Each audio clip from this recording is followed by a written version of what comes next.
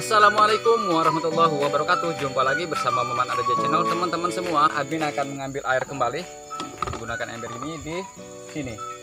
Ini biasa air ini untuk dibuat jakaba Dan Alhamdulillah berhasil semuanya menggunakan air ini. Oke teman-teman. Dalam pembuatan pupuk kali ini kita akan menciptakan pupuk yang khusus kalium dan fosfat ya teman-teman. Yang mana kedua bahan ini kalau dipadukan ini akan bagus sekali untuk merangsang bunga dan buah ya teman-teman. Jadi untuk menghasilkan buah yang bagus kita harus ada dukungan unsur makro yaitu fosfat dan kalium. Yang pertama dari bonggol pisang dan yang kedua dari rebung bambu. Nah bonggol pisang yang terbaik admin rekomendasikan ya teman-teman. Untuk bonggol pisang yang terbaik itu bonggol pisang raja pisang kepok atau pisang klutuk ya. Pisang hutan itu yang banyak bijinya itu yang terbaik. Kandungan fosfatnya tinggi. Dan yang kedua rebung bambu yang terbaik itu rebung bambu tali. Kalau untuk petani tidak asing lagi dengan bambu tali. Oke teman-teman sebelum kita ke pembuatannya kita pahami dulu apa itu bonggol pisang dan apa itu rebung bambu. Unsur apa saja yang ada pada bonggol pisang dan rebung bambu. Yuk kita cari tahu. Sahabat tani Nusantara di mana pun berada, bonggol pisang adalah sumber fosfat tinggi, terutama bonggol pisang raja. Bonggol pisang mengandung tujuh mikroorganisme yang sangat berguna bagi tanaman, yaitu Azospirillum, Azotobacter, Bacillus, Aeromonas, Aspergillus, mikroba pelarut fosfat, dan mikroba selulotik.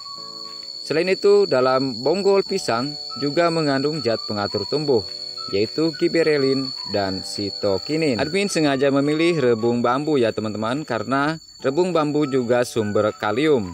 Kalium K adalah salah satu nutrisi atau unsur zat yang dibutuhkan tanaman dalam pertumbuhannya. Zat ini membantu pembentukan protein dan karbohidrat, memperkuat tanaman sehingga daun, bunga, dan buah tidak mudah rontok atau gugur memberi daya tahan bagi tanaman terhadap kekeringan dan penyakit.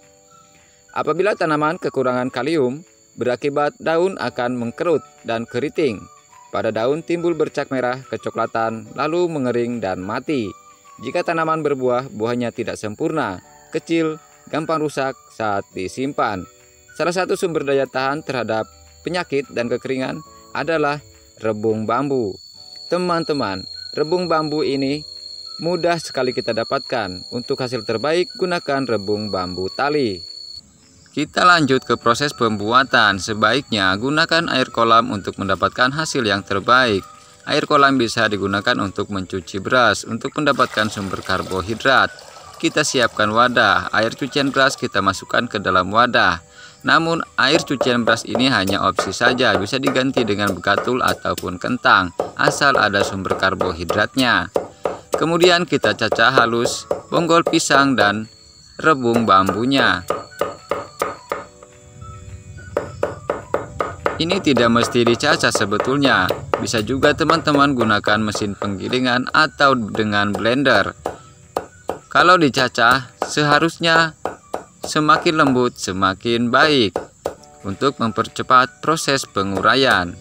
Untuk bakteri pengurai, kita tidak menggunakan bakteri pabrikan. Admin hanya menggunakan air jakaba dan juga jakabanya.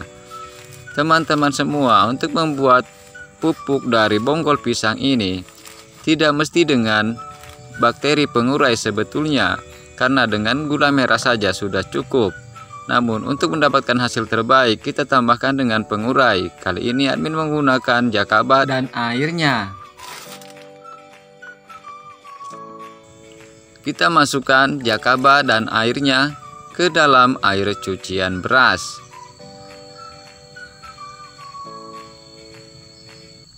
Kalau teman-teman tidak punya jakaba, bisa digunakan M4 atau M21 atau tidak menggunakan dekomposer pun tidak masalah sebetulnya, asal ada karbohidrat dan gula merah. Ya, setelah dimasukkan kita aduk bersama bahan organik bonggol pisang, dan rebung bambu tadi.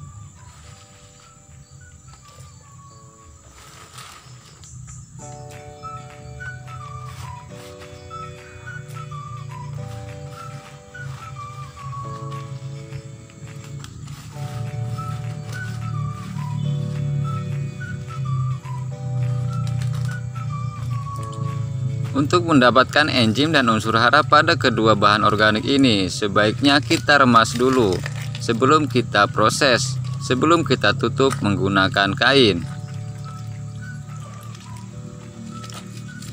Sebaiknya kita remas-remas dulu bersama air cucian beras, jakaba, dan bahan organik.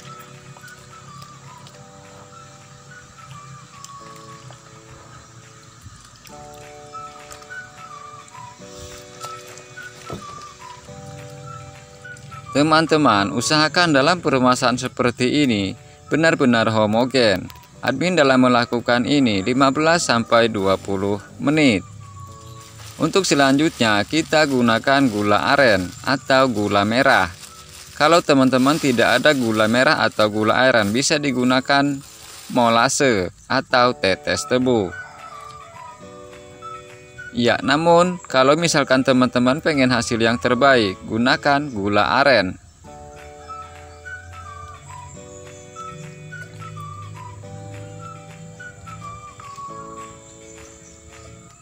Kita iris terlebih dahulu gula arennya atau teman-teman encerkan dulu, dimasak dulu, dididihkan di dalam panci.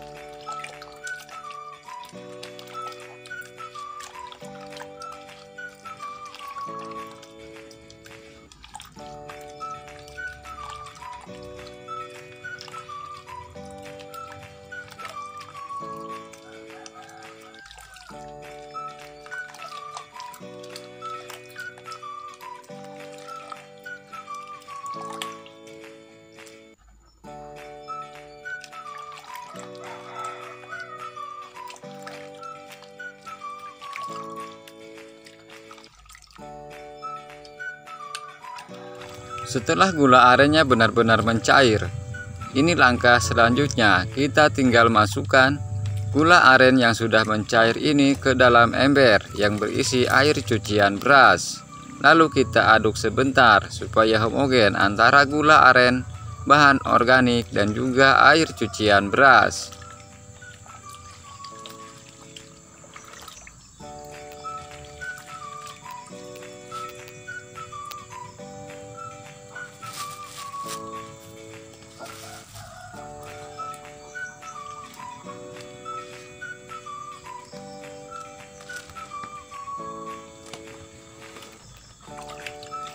Ini air cucian beras yang tadi.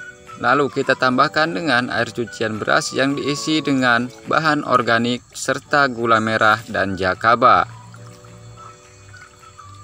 Kita masukkan sedikit demi sedikit.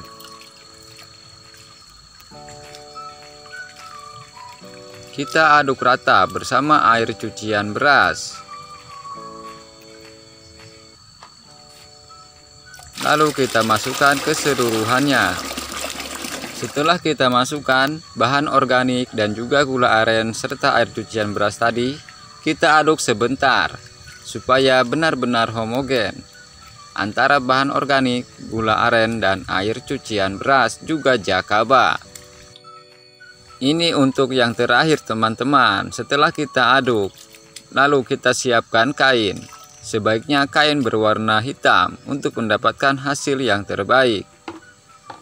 Untuk selanjutnya, kita tinggal tutup menggunakan kain supaya tidak terkontaminasi oleh binatang yang kecil dari luar, misalkan nyamuk atau lalat. Kita tutup dengan kain, lalu diikat dengan karet. Lama fermentasi sebaiknya 30 hari.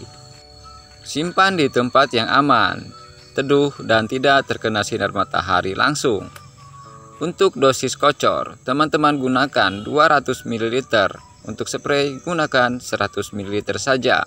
200 ml hanya untuk kocor saja. Terima kasih sudah menyaksikan video ini. Semoga bermanfaat. Seperti itulah cara membuat pupuk MKP organik dengan menggunakan jakaba.